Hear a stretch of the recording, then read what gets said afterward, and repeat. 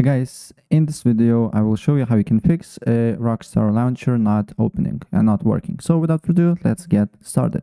First of all, open up Task Manager and then look for OneDrive.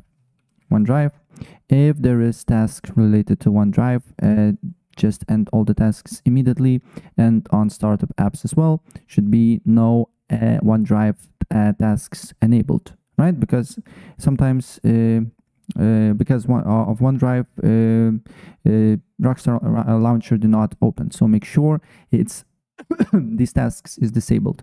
And also on installed apps, make sure OneDrive, you cannot find OneDrive, it's deleted as well, right?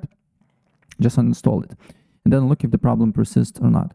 If the problem persists, what I suggest you to do here next is to look for Rockstar Launcher, game launcher, open file location, then again, right click on it, uh, open file location, and copy path. Right, copy path, go to virus and threat protection, and virus and threat protection uh, here, press on manage settings, exclusions, and then here add an exclusion folder.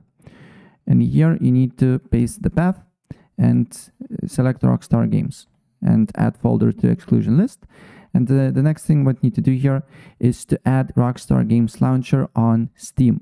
So we just copied the path. So you just need to go to Steam, add the a game, add a non-Steam game, uh, press browse, put the path here that we just copied, and then add launcher, exe, right? Add selected program, and then launcher should appear on Steam. Press play, and then launcher should be working. So let's wait for a couple of seconds until it's, it loads up, as you can see here, and my launcher now is working. So yeah, that's basically it. And if I helped you out, please press like button and subscribe for more. Take care.